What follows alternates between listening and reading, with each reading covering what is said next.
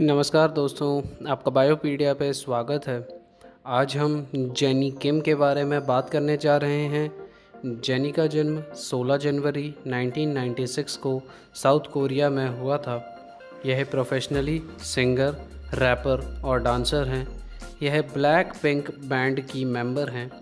Jenny पैदा South Korea में हुई, पर यह न्यूजीलैंड में बड़ी हुई।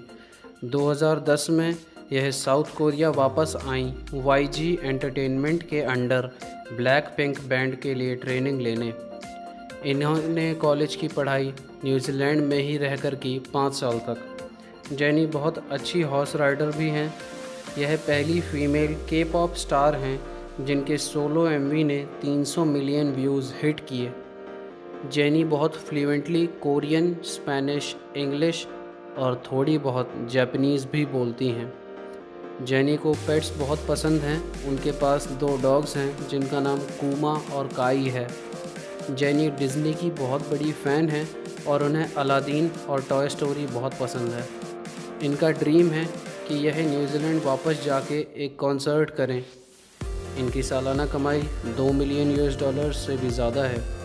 यह रेगुलरली वर्कआउट करती हैं और इन्हें फ़िट लाइफस्टाइल जीना बहुत पसंद है। अगर आज का वीडियो पसंद आया हो तो वीडियो को लाइक करें और हमारे साथ जुड़ने के लिए चैनल को सब्सक्राइब करें। Thank you for watching